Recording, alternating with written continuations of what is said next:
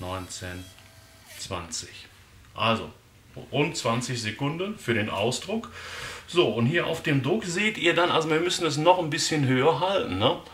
Ja, hallo Freunde, die Leute von HP waren so nett und haben mir hier mal ein kostenloses Muster, seht ihr hier, Sample Not For Sale, überlassen von dem HP Sprocket Bilderdrucker. Ja, es ist ein Bilderdrucker, ihr seht das schon im Format.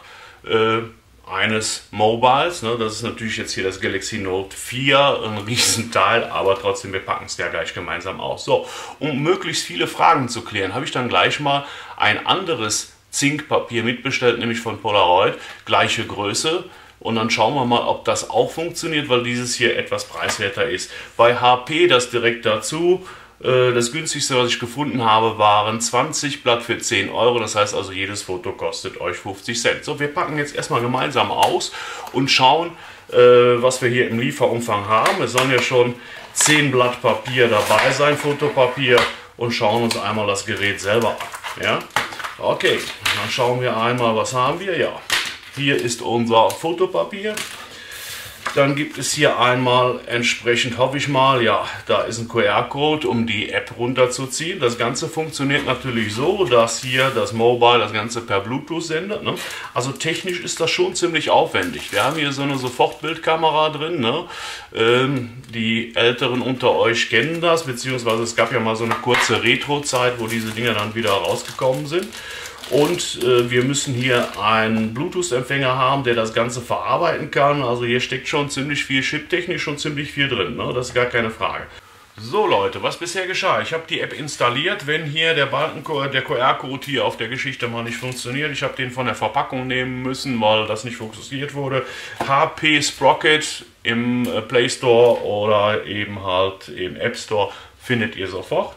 Ja, ähm, es, wenn ihr das Ganze googelt, HP Sprocket, findet ihr auch drei Millionen beantwortete Fragen, also äh, Fax, ne? Frequently Asked Questions.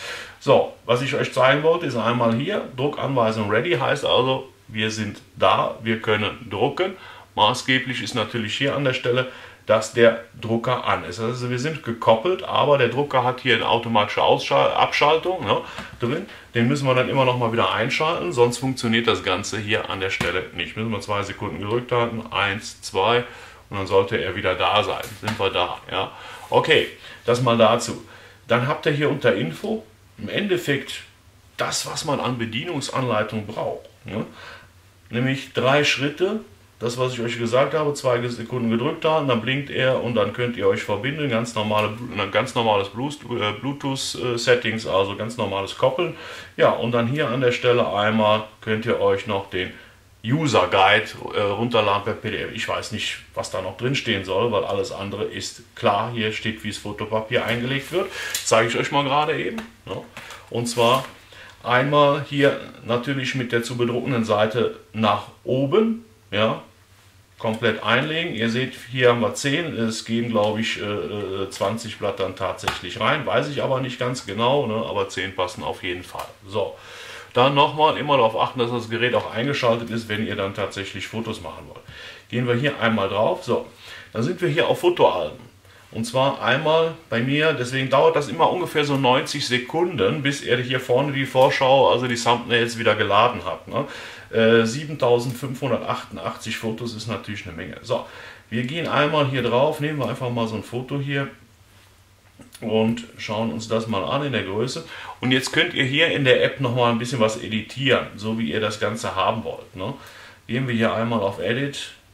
Ich hoffe mal, funktioniert. Ja, ja, und könnt hier, was weiß ich, noch Rahmen dazugeben und solche Geschichten halt. Ne? Also diese üblichen Spielereien, die ihr äh, mit, mit äh, Fotosoftware auf euer Mobile machen könnt.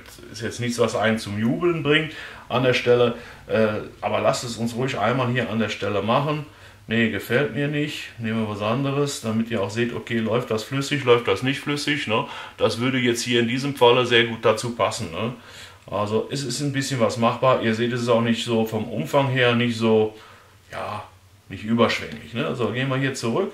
Okay, hier über AA könntet ihr jetzt noch eine Beschriftung machen. Ne? Äh, machen wir auch das noch einmal, damit wir auch nachher mal die Größe sehen von der Beschriftung, die da drauf ist. Okay, gehen wir es ruhig so rein. Ne? So, und hier könnt ihr das Ganze jetzt drehen und wenden und tun und machen, wie ihr wollt. Weil das ja hier nur ein Querformat ist, würden wir es jetzt einmal hier hinschieben. Machen wir es gerade eben ähm, farblich, weiß ich nicht, ist farblich noch was machbar hier? Sehe ich jetzt im Moment nicht. Äh, müsste man mal schauen, ob wir hier über, doch, können wir über die Farben noch was verändern. Ne? In dem Falle, damit das Ganze sichtbar wird, würden wir es jetzt hier rot machen. So, nein, machen wir nicht. Müsste irgendwo, aber doch zumindest in der Bestätigung nochmal drin sein. Ah, okay. Häkchen nehmen, dann funktioniert das Ganze auch. Jetzt könnten wir das Ganze hier noch irgendwo so ein bisschen größentechnisch und so weiter verändern, so wie ihr das haben wollt. Ne? Ich wollte euch da nur ein bisschen was zu zeigen, dass ihr auch wisst, okay, da geht was. Ja, hier könnt ihr das Ganze wieder in den Papierkorb werfen und hier schauen wir nochmal rein, was geht hier unter AG. Hier könnt ihr die Schriftfarbe noch, äh, die Schriftart noch verändern. Machen wir es gerade eben, damit es was netter aussieht. Ist natürlich bei dem, was wir da geschrieben haben, relativ egal, Leute. Sorry, ich muss manchmal selber lachen. So, okay. Nehmen wir das hier, sieht doch nett aus. Okay, auch hier gehen wir wieder auf ein Häkchen, dann haben wir das Ganze. Ja, so, schauen wir mal. Papierkorb wollen wir nicht. Was können wir hier noch machen? Da sieht irgendwie was wie Stapelverarbeitung aus. Haben wir nicht. Okay. Also machen wir folgendes. Haben wir, können wir die Farbe nochmal. Ah ja, wir können noch einen Rahmen bilden hier. Machen wir das ruhig auch. Dann haben wir es einmal. Okay, gehen wir raus. Und wenn wir jetzt gleich rausgehen, müsste er eigentlich uns sagen, dass es gespeichert, ob es gespeichert werden soll. Yes. So, Ach nee, oh sorry, ich hätte No machen müssen. ist wurscht. Komm Leute, lasst uns was drucken zusammen, damit wir sehen, ob das Teil, was, was hier rauskommt. Das ist das A und O. Ne? Und nachher können wir gerne nochmal, mache ich euch nochmal so irgendwas fertig, dass ihr das nochmal sehen könnt und äh, druck das nochmal aus. So, ich habe jetzt hier an der Stelle extra was genommen. Erstmal mit ein paar helleren Anteilen, mit Grün, aber auch mit Farbe drin, ne? weil es ist ein Farbdrucker und dann sollte er auch hier was Vernünftiges wiedergeben. Ob das gleich beim ersten Mal jetzt hier so funktioniert, weiß ich nicht. Aber wir schauen es uns gemeinsam an.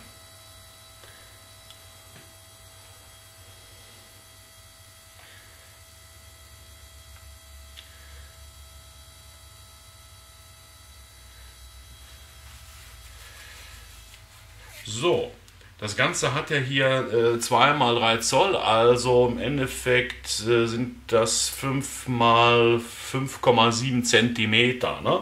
Ja, das muss man auch wissen an der Stelle. So, schauen wir mal, was so fototechnisch hier wiedergegeben wird. Also ich denke mal, damit kann man gut leben für eine Sofortbildkamera. Ja, nichts anderes ist es, was hier eben halt auf äh, Zinkbasis funktioniert. Äh, die Älteren unter euch, die werden noch wissen, was man früher machen musste. Ne? Dann hier diesen schütteln und, und pusten und so weiter, bis dann tatsächlich hier ein Bild kam. Heute ist das Ganze natürlich wesentlich fortschrittlicher und hier kommt sofort was raus. Bei den HP-Geschichten habt ihr hier hinten immer gleichzeitig noch eine Folie drauf, das heißt, es ist gleichzeitig auch noch ein Aufkleber. Ja, mache ich gleich auch mal, muss man wieder abfummeln und so weiter. Sage ich euch dann, wie das Ganze gewesen ist. Jetzt nehmen wir aber mal ein Foto auch noch ein bisschen mit anderen Farben. Ne? Ihr seht natürlich, dass das hier auf dem Mobile wesentlich klarer erscheint und so weiter und so fort. Ne? Wenn man das aber dann mal wegnimmt ja, und nimmt nur mal das Foto, Sorry, ich habe ja gesagt, ich drehe euch den Teil, hätte ich das Foto gar nicht so rumdrehen müssen. So, ich fahre euch jetzt mal näher ran, dann könnt ihr das Ganze, denke ich, ganz gut beurteilen. So, dann sieht das so aus. Ja? Und ich denke, damit kann man wirklich gut leben. Ich fahre es mal gerade so ein bisschen mittig rein. Ja? Und versuche jetzt mal, mal ein bisschen Licht hier aus an der Stelle auch, weil das natürlich jetzt hier so mein Videolicht etwas überbelichtet, die ganze Geschichte. Na, dann sieht das alles ein bisschen blasser aus. Wenn ich das jetzt hier, das zweite Videolicht auch nochmal runterfahre, dann seht ihr, ich fahre jetzt gerade mal in so einen Bereich rein, äh, was die Farbwärme anbelangt, der eben halt so im neutralen Weiß liegt. So, das ist jetzt hier so neutrales Weiß und das ist das Foto dann wirklich mal so real gesehen. Ja, ja und auch hier noch mal kurz, ne, ihr seht schon, äh, dass es nicht hochglänzend ist, aber das schon keine matte Struktur hat oben, ne, das Foto, sondern eine glänzende. Könnt ihr jetzt sehen, wenn sich das Ganze spiegelt. Also passt bis hierhin, denke ich, ganz gut. So, die Frage, die sich ja auch ergeben könnte, ist hier, wie sieht es aus, wenn wir die Folie abziehen? Ist dann hier entsprechend noch was am, vom Foto da? Also ist das doch eine, äh, eine ausreichende Stärke? Ja, und dann denke ich, seid ihr bei mir? Ja, ne? also es ist eine halbwegs normal, normale Folie, aber äh, so dick, dass man nicht fummeln muss. Sorry, jetzt wird die Kamera verschwimmen. Ja, aber eben halt nicht zu dick, dass vom Foto nichts mehr übrig bleibt. Ne? Oh, was soll man machen? Ich klebe es mal irgendwo hin. So, ich habe mein weiteres Foto ausgedruckt, um einfach mal zu schauen im Hochkantformat, inwieweit wird das Ganze hier beschnitten. Ihr seht diese eine Bank, die hier so ein bisschen quer steht, ja, und von da aus sind noch zwei Bänke vorhanden und ihr seht hier unten dieses letzte Stück, das ist beschnitten. Ne?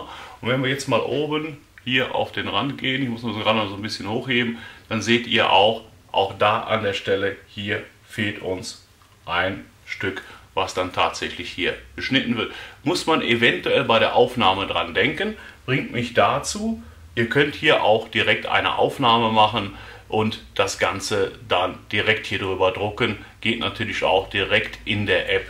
Ist kaum ein anderer Weg. Äh, viel Zeit spart ihr nicht, aber es geht. So, ja, Püppi hatte sich schon beschwert. In letzter Zeit war wenig los, konnte sie wenig hier aktiv mithelfen. Aber deswegen, hier habe ich jetzt mal versucht, so eben halt zu berücksichtigen, geht ganz gut, ne, indem man oben einfach so ein Stück äh, mehr nimmt, dass eben halt hier das Ganze ein bisschen beschnitten wird und habe so eben halt auch den ganzen Kopf mit drauf, aber oben das letzte Stück eben halt nicht. Muss man dran denken, wenn man solche Fotos dann hier tatsächlich aufnimmt, ähm, dass da oben ein Teil weg ist, also nicht in der Aufnahme selber den Kopf oben an, ganz an den Rand, dann fehlt ein, ein, Stück vom Kopf. Das muss man wirklich wissen. Okay, jetzt sagt er hier natürlich okay, hat sich abgeschaltet in der Zeit, wo ich da hinten war und das Foto gemacht habe. Ein, zwei Sekunden drücken, ja, und dann haben wir es wieder da. Und dann sollten wir eigentlich hier an der Stelle auch wieder auf Drucken gehen können und dann hier auch ein Ergebnis erzielen. Ich wollte euch jetzt nochmal einen Druckvorgang hier tatsächlich mitnehmen. Ihr seht also das Senden an den Printer hier an unseren Drucker und dann schauen wir mal, wann er startet. Eins, ja, ist sofort da, ne? so an jetzt zwei Sekunden. Zwei, drei, vier, fünf, sechs, sieben, acht, neun, zehn, elf, zwölf, dreizehn, vierzehn, 15, 16, 17, 18, 19, 20. Also rund 20 Sekunden für den Ausdruck. So, und hier auf dem Druck seht ihr dann, also wir müssen es noch ein bisschen höher halten, ne? weil hier auf dem Druck dann tatsächlich oben noch ein Stück fehlt. Ja? Wir haben also hier im Foto selber, ne, haben wir die Geschichte da. Ich drehe es mal so, dann brauche ich den Filmteil nachher nicht drehen. Ja, könnt ihr also nochmal deutlich sehen. Und hier oben fehlt etwas, muss man auch berücksichtigen, wenn man Fotos macht, die man hier mit drucken will. Dann müsst ihr halt wirklich berücksichtigen, okay, oben, das waren jetzt ungefähr 20 cm in der Aufnahme selber, die ich weggelassen habe, also real 20 cm. Und eben halt hier hätte man also noch ein wenig mehr oben gebraucht. Hier tatsächlich, damit das hier dann auch noch das Härchen da ist. Ne? Okay.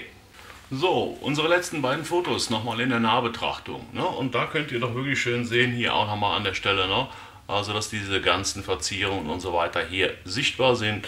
Ja, auch hier bei Püppi, ne? Augen und so weiter, also wirklich toll auch hier, ne? das Spiegeln eben halt auf den Lippen, alles da. Also für mich passt es. Ob es für euch dann passt, müsst ihr selber entscheiden anhand der Geschichte hier. Wenn ich jetzt ein kleineres Mobile genommen hätte, was auch vielleicht äh, bildschirmtechnisch nicht so wie das, das Note 4 ist ein Top-Smartphone, äh, so eine hohe Auflösung hat, dann sieht der Vergleich noch ein bisschen anders aus. Ne? Natürlich seht ihr hier auch dann auf diesem Foto hier ne, so ein bisschen, äh, so ein paar Fotostreifen. Ja? Das, kann man, das kann man nicht verschweigen an der Stelle, aber äh, ansonsten, also ein Ergebnis äh, was mich überrascht, positiv überrascht. So, ich habe uns mal gerade ein Foto hier so ein bisschen bearbeitet, erstellt, wie auch immer ihr wollt. Ja. An der Stelle also, Mama hat dich lieb, so Herzchen, Pfeilchen und so weiter drauf gemacht. Und jetzt hier einmal der Druck, kabellos natürlich. Natürlich ladet ihr das Gerät und könnt das Ganze kabellos betreiben. Das wollte ich euch jetzt einmal im Ausdruck hier an der Stelle auch nochmal zeigen. Ne? Ja. Und das, was hier rauskommt, sieht auch wieder, ich denke mal, ziemlich anständig aus. Ja, kann man gebrauchen. Aber auch hier seht ihr schon, ne, ähm, da, also hier unten in der Ecke, da müsst ihr also wirklich drauf achten. Das wäre natürlich schön, wenn auch da HP nochmal nacharbeiten würde, was die App anbelangt. Also das sichtbare Bild sollte dann auch zumindest hier aus der App heraus auch hier das ausgedruckte Bild sein. Ihr erinnert euch später äh, äh, an äh, vorher, ne, unser Pippi mit dem Kopf, wo da ein paar Haare abgeschnitten waren. Das ist dann ein bisschen kontraproduktiv. Ansonsten tolles Teil, aber äh, nochmal, hier Leute in der Ecke, ne, da wäre fast das M schon wieder weg. Also da müsst ihr ein bisschen drauf achten. Im Moment, ich hoffe mal, die Leute von HP äh, arbeiten da noch ein bisschen an der App, weil so viele Möglichkeiten gibt es auch nicht. Das könnt ihr dann hier nicht in Farbe machen, ne, sondern tatsächlich dann nur in Weiß. Ja, und also ich denke, ähm, bei der App äh, sollte nochmal HP nacharbeiten, was also die Menge anbelangt und was also auch die Korrektheit hier der Ausdrucke dann anbelangt. Da gibt es noch ein bisschen was zu tun. Okay. Ja, und nochmal, also das, was die automatische Abschaltung anbelangt und die Abschaltung, das, was auf der Amazon-Seite von da, ich weiß nicht, ein oder zwei Leuten mal nicht gelesen zu haben, äh, schaltet sich nicht ab und so weiter und so fort. Nein, automatische Abschaltung habt ihr ja selber gemerkt, dadurch, dass ich das immer wieder mal aktivieren musste, funktioniert tadellos. Und wenn man hier jetzt auch länger, länger gedrückt haltet, dann ist das Ding auch aus. Ne? Ja, also und hier zwei Sekunden gedrückt halten, ist das an. Also kann ich absolut nicht bestätigen an der Stelle. Ich mache es nochmal gerade wieder aus. Ne? Könnt ihr also hier sehen. Jetzt ist er wieder im, im Pairing-Modus. So, einmal aus, fertig, ist das Ding weg. Ne? So, wie versprochen, schauen wir mal, ob auch die Produkte der Mitbewerber hier, was also das Fotopapier anbelangt, reinpassen. Wäre ja ganz gut. Äh, Im Moment ist noch nichts da an Plagiaten oder nachgemachten Geschichten, aber ich bin mir ganz sicher, dass die Asiaten da sehr, sehr bald, auch hier ist im Prinzip dieses blaue Dingchen drauf, ne? Ähm, Pappkarton, so, schauen wir mal. Also, das ist also hier aus unserem Polaroid-Paket. Sieht, sieht mir also sehr, sehr ähnlich aus. Ja, Legen wir es einmal rein und dann schauen wir mal. Also, bisher scheint das also zu funktionieren. Ich weiß nicht, ob die, ob die die gleiche Geschichte verwenden. Aber nochmal, es sah mir ziemlich gleich aus. So, kaum ist hier der Stecker ab, schon weiß man nicht mehr, wie rum es gehört. Okay, dann schalten wir hier auch an der Stelle wieder nochmal ein. Ne? So viel zum Thema Ein- und Ausschaltung. Und äh, ich habe hier schon mal ein Foto aufgerufen. Und dann gehen wir hier einmal auf Druck. Und zwar deswegen einmal hier die Geschichte mit äh, Zahlen und Werten, damit ihr an der Stelle auch einmal sehen könnt, okay, sind die ablesbar? Kann ja sein, dass ihr das nachher braucht zum Ablesen. Ne? So, ich drehe euch mal so und dann brauchen wir nachher wieder ein Video da nicht drehen. Es ist ja mal unterschiedlich, wofür der Einzelne das haben will. Die Motivation, die Kaufmotivation. Ne? Es ist ein, ein schönes Gadget und ihr seht ja, ne, 5,7 Zoll Handy ist äh, äh, wesentlich größer. Und maßgeblich ist, wozu braucht ihr das? Was wollt ihr damit machen? Das weiß ich nicht. Äh, man kann hier so schöne Geschichten mitmachen, zeige ich euch gleich mal. Weil Thema ist natürlich durch den, durch den Aufkleber, der haptisch wirklich sehr, sehr gut läuft. Keine lange Fummelei. Ne? Einmal an der Ecke, zack, ist das Ding auch da und ab. Und dann passt das Ganze auch. So, schauen wir auch hier nochmal auf das Ergebnis. Und dann seht ihr hier an der Stelle, hoffe ich mal, ja, 4,6. Was fehlt uns? Eigentlich recht wenig. Jetzt hier in diesem Fotoformat, das war ein Screenshot. Ne? Und dann seht ihr hoffentlich hier, ne, Nord ist hier noch da. Ja, genauso wie hier das N, also hier ganz minimal an dieser Seite und hier vorne fehlt auch ein minimales Stück, könnt ihr auch erkennen, was also hier ne, von der 17 hier vorne, dieser kleine Streifen, da fehlt ein bisschen hier auf dem Foto, könnt ihr sehen. Ja, Okay, schauen wir mal, haben die denn hier auch irgendwo was zum Aufkleben oder steht da nur Zink? Nein, ich glaube diese, diese Geschichte hier von, von Polaroid, genau, das ist also reines Fotopapier. Da haben wir keinen Aufkleber, das muss man wissen und insofern äh, ist der Preisaufschlag vielleicht bei HP dann wieder ein bisschen gerechtfertigt, ich weiß es nicht. Oder? Doch. Hallo Leute, schimmert auch wieder so bläulich, ne? scheint mir also hier wirklich fast schon dasselbe zu sein, aber ich mache mal gerade noch mal hier so einen kleinen Vergleich. Ja, da steht HP drauf, da steht da, also es scheint mir eigentlich identisch zu sein, kommt wahrscheinlich aus der gleichen Fabrik. Ähm, was also die Dicke anbelangt, habe ich zwar jetzt haptisch so ein bisschen das Gefühl, dass die anderen etwas dicker waren, aber nochmal, ich sage jetzt mal, es ist fast das gleiche. So, jetzt klebe ich hier auch noch was rein. Thema ist einfach an der Stelle, ich fahre hier ein Stück zurück. Ich weiß nicht, was ihr damit vorhabt. Ne? Ich hatte hier so einen so Notizklotz von Schau ins Land, passte ganz gut. Ne? So reisetechnisch, so Fotos. Ne? Ja, und habe hier was draufgelegt. Also klebt wunderbar, klebt super. Ja, auch hier so an der Stelle bombenfest. Ich versuche es mal gerade abzuknibbeln. Ja, da könnt ihr das also auch sehen. Ne? Passt. Und jetzt sage ich euch an der Stelle, es ist das gleiche Papier, sowohl Polaroid als auch HP. Ich nehme nochmal das HP ab. Ja, also ist wirklich dasselbe. Und insofern, die Geschichte war jetzt hier um einiges preiswerter. Könnt ihr auch die Polaroid-Geschichten nehmen. Fototechnisch sehe ich da keinen Unterschied. So, lasst uns ein kleines Fazit ziehen. Da sind wir an der Stelle auch durch. Zur Laufzeit der ganzen Geschichte kann ich euch wenig sagen. Jetzt bis, bis hierhin, das muss ich euch schuldig bleiben heute. Was aber funktioniert, ist hier tadellos Ein-, Ausschaltung, Bedienung, Haptik. Ne? Also super einfach, koppeln mit dem Mobile, ruckzuck, wie immer, einfach in die Bluetooth-Settings reingehen, äh, koppeln und schon ist das Ding auch da. App runterladen, hat auch alles funktioniert. Anmelden mit, was weiß ich, Facebook, mit, mit, mit Twitter, was auch immer, äh, funktioniert auch tadellos hier. Also passt alles. Bedienungstechnisch, Bedienungsanleitung brauchen wir nicht, da gibt es gar nichts äh, zu meckern. Ihr müsst daran denken, dass ihr eben halt immer im Ausdruck etwas weniger habt als das, was euch angezeigt wird. Vorher schon bei den Fotos, Porträtfotos eben halt oben doch ein ganzes Stück lassen, ne, äh, was also den Kopf anbelangt, damit ihr nachher hier nichts abgeschnittenes habt. Ja, das Einzige, was mich immer so ein bisschen gestört hat hier bei der Geschichte, äh, kann ich ja auch mal drüber sprechen. Und zwar, wenn wir, haben wir die App noch auf? Ja, wenn wir hier in der App sind, gehen hier einmal auf zurück und ich gehe, selbst wenn ich hier oben auf zurück gehe, ist immer wieder das erneute Laden hier vorne der, der Vorschau, ne? also der Thumbnails. Das ist das, was mich stört. Dauert dann immer wieder so 60 bis 90 Sekunden, je nachdem, wenn ihr mehr drucken wollt, ist das einfach ärgerlich. Ne? Ja, was ist äh, die Geschichte? Das sind die beiden Punkte, die mich stören. Diese Geschichte hier und eben halt, dass nicht aus dem Drucker das rauskommt, was uns das App-Foto anzeigt. Dass es bei, aus dem Galeriefoto das nicht hier drauf sein kann, ist klar.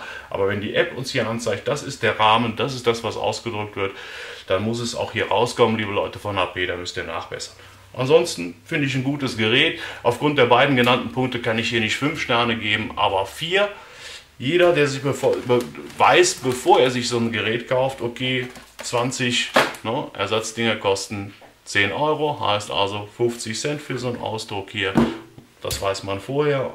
Was das Gerät kostet, weiß man vorher. Insofern kann man da auch nichts negativ bewerten. Fototechnisch bin ich für einen Ausdruck mit einem Zinkfotopapier völlig zufrieden. Das kann man nicht vergleichen mit einem äh, äh, Fotodrucker oder mit einem, ja, äh, gerade eben halt Tintenfotodrucker oder sonst was, ne? Äh, sondern das ist Zinkfotopapier und dafür passen die Ausdrucke absolut. Ne? Ja, ihr seht, ich mache so kleine Notizen zwischendurch. Ich habe das auch mal gesehen, was mir nicht gefällt und was mir gefällt. So, ihr wisst jetzt Bescheid. Vier Sterne von meiner Seite. Jetzt wünsche ich euch alles Gute. Bleibt gesund und bis zur nächsten Review. Euer Mr. Wohlfisch.